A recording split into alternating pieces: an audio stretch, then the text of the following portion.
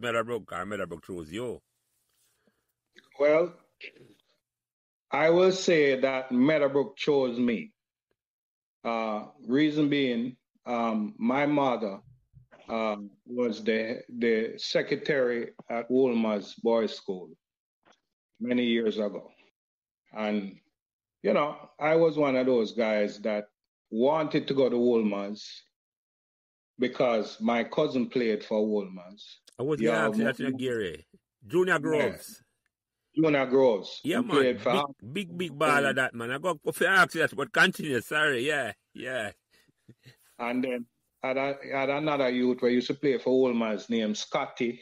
Mm-hmm. Used to play So remember to like, share, and subscribe these Meadowbrook Memories podcasts so neither you nor your friends will miss another Meadowbrook conversation. Thanks.